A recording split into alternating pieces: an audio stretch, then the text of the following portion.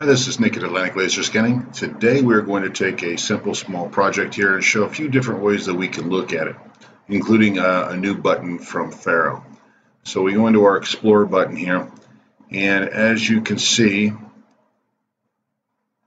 with a loaded scan, we have a green light single scan project. We can look at that in 3D when we load our scan or we create a project point cloud. We can also look at this, we double click on the scan name and uh, what's called a quick view or a two-dimensional bubble view. Uh, this will give us, uh, if color was used, it will give us a three, a two-dimensional bubble view photograph uh, without any color added, as this is here because there was very little light. Uh, this is only your uh, laser point uh, view. Anytime a laser point made connection with the uh, the scene here, uh, we've created basically what looks like a black and white photo, but it's just laser points. It's excellent to use in the dark, uh, or if you've got over or underexposed photography, you know, potential from the setting that you're in. Now, third way we can look at this scan is in the overview map. Uh, this is something that uh, we've got in the new interface for SCENE.